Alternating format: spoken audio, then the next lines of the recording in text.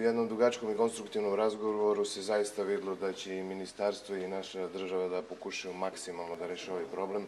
Već u sutrašnjim satima se očekuje, jutarnjim satima se očekuje sastanak dva ministra privrede iz naše dve države. E, postoje neke mogućnosti e, i dva modela rešenja ovog problema. E, svakako da bih i ja ovaj, naglasio to što je ministar istako da je u startu ova privatizacija sa više strana vrlo loše bila ovaj, odvijena, ali napori i svih nas, i vidjet ćemo u narednom periodu i nadam se da ćemo i na naše zadovoljstvo da rešimo ovaj problem što pre i što hitnije. Postoje mogućnost da se reši. A sa koje strane bila privatizacija loša?